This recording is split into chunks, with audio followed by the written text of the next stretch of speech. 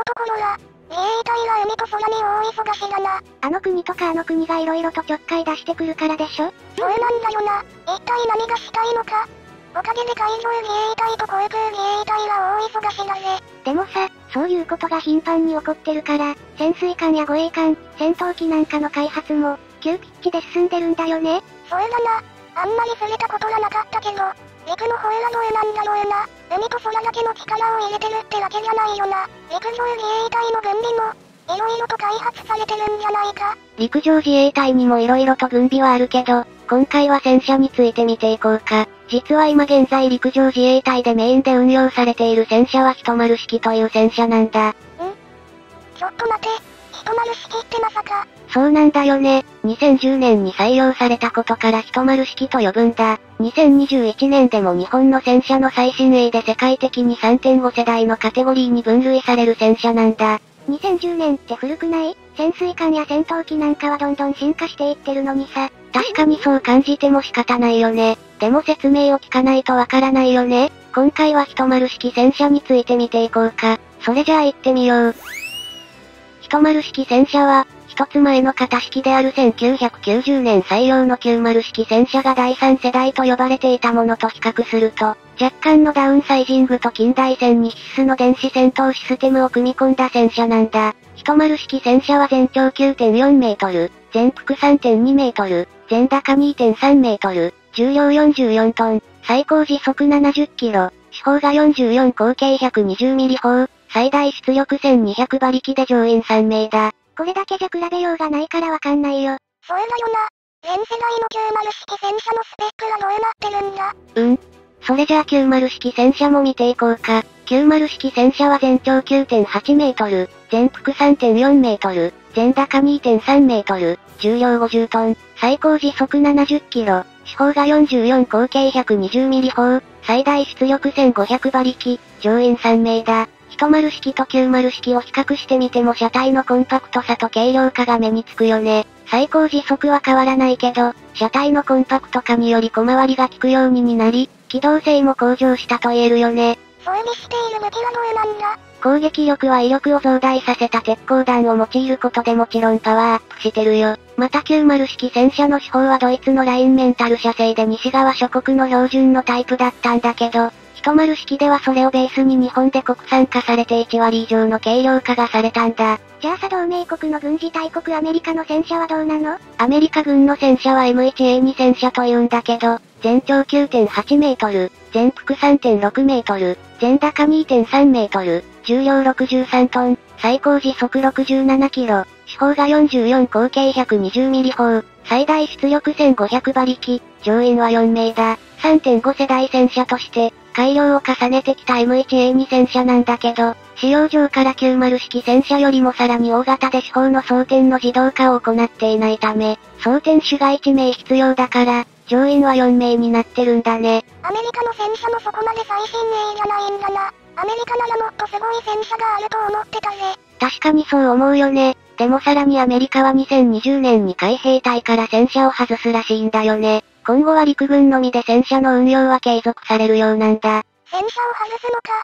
今後は戦争になっても第二次世界大戦当時ほどの戦車の重要性がないってことなんだな。アメリカがそうすることで、他の国もそれが主流になっていくかもしれないな。戦車は戦闘には欠かせないものだと思ってたけどもう今はそうじゃないんだね。なんか少し寂しいや。戦争の際に真っ先に最前線に投入される海兵隊から戦車が外されるのは意外だったよね。今後は装甲車や歩兵戦闘車両などの簡易で軽量な車両のみで作戦を遂行していくってことなんだろうね。そして大きく重い戦車の運用は陸軍に任せて作戦の後の段階で、後方支援と同時に投入されることを想定していて、防御的な戦闘や後方支援なんかで運用していくってことなんだろうね。陸地での戦闘での戦車は主力ではないんだな。一昔前までの陸戦や市街地戦闘なんかでは、戦車の台数が多い方が有利と言われてたのにな。戦闘の様式がどんどん変化していってるってことなんだろうね。そういうことだね。どんどん戦闘もハイテク化されてるからね。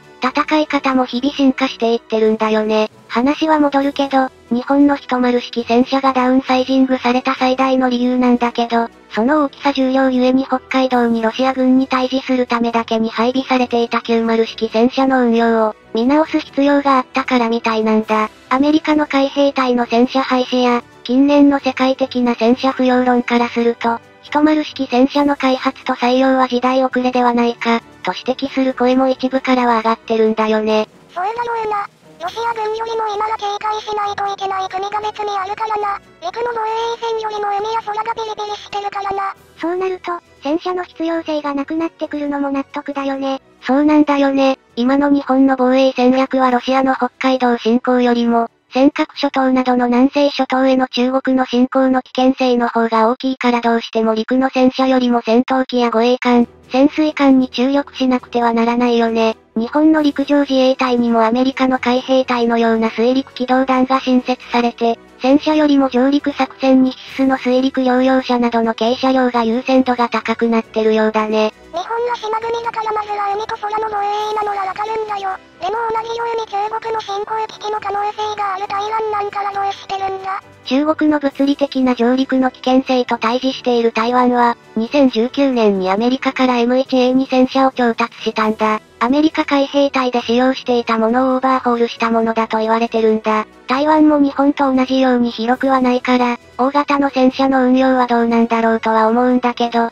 万が一中国が上陸してきた時の防衛用として運用していくんだろうね。軍事兵器としての戦車の評価は本当に低くなってしまったんだね。そうだね。実際に対戦車攻撃の手段が色々と出てきたからね。対戦車用兵装を装備したヘリコプターや、個人用の携帯火器の威力の向上、最近では、ドローンまで登場したからね。どれだけ正面の装甲を厚くしても、空からの攻撃には弱いんだよね。そう考えると戦闘の費用対効果は低いのかもね。そうだよな。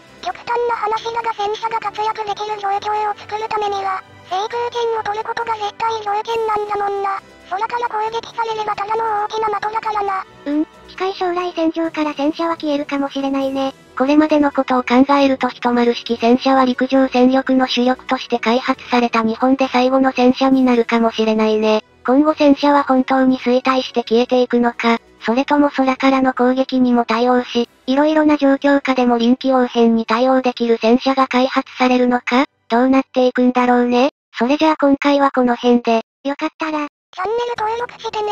いつも見てくれて、ありがとう。